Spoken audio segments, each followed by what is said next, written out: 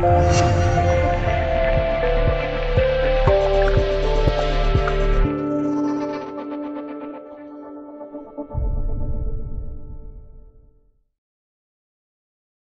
七月十六日起，美俄首脑会议开启。全球著名杂志称，美总统力排众议，与俄走上友好道路。对于此消息，国外媒体认为，自冷战以来，美俄国际关系复杂。但是今天美俄首脑会议，美做出与俄走向友好的姿态，其中有很多原因。因为俄罗斯拥有世界数一数二的核武器储存，随着地球越来越脆弱，核武器的存在成为了最大的威慑力，所以国际关系友好化才是最好的选择。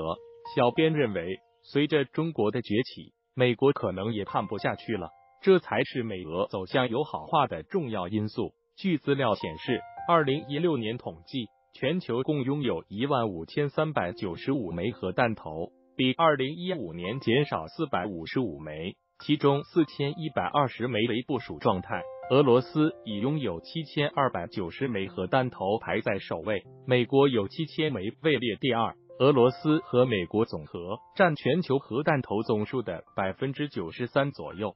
说到核武器储存量，美俄两国占据了世界一大半的核武器，但是就此小看中国，那肯定是不能的。首先以洲际导弹来说。中国的东风系列洲际导弹已经非常成熟，东风四十一导弹重量为六十三点五吨，射程为一万两千到一万五千千米，最多可配备十枚核弹头，飞行速度二十五马赫，圆周概率误差为一百到二百米。该型导弹采用分导式多弹头，西方目前的技术是无法拦截的。一枚东风四十一导弹足以抹平一个大型城市。所以，重要的核武器的存在，并不在于有多少，而在于存在即是威慑。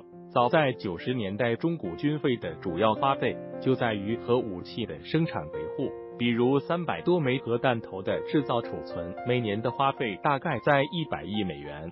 所以，对于处在经济复苏时期的中国，是一件相当难的一件事。但是，今天的中国的军费已经达到了一千七百五十亿美元。所以，核武库的增长是必然趋势。